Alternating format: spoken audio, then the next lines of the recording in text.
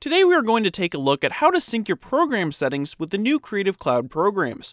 Now I will be using Photoshop CC today, but all of the new CC programs have the same sync options. So to get started, go up to the Edit menu, and then at the bottom you can either go to Preferences and then Sync Settings, or if you are already logged into the Creative Cloud, then hover over your ID and then select Manage Sync Settings.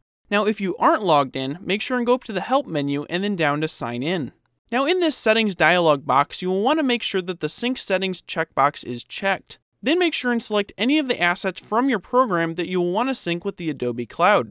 Now once you sync these items to the cloud and then sync them from another computer, you will have access to all of the same shortcuts, brushes, actions, and more. Now keep in mind that the settings you can sync will vary by program.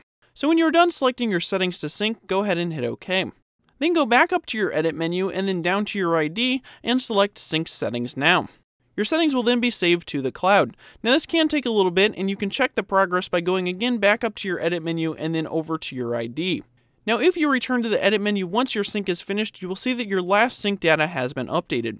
So in the future, you may want to sync your settings without needing to go to the edit menu. So you can also create a new document and then sync your settings by clicking the small gear icon at the bottom of the Photoshop interface. So make sure and sync up your settings with all of your new CC programs so that you can maintain a consistent workflow on whatever computer you use. So as always, if you enjoyed this tutorial, be sure to subscribe, rate, comment, and share it with your friends.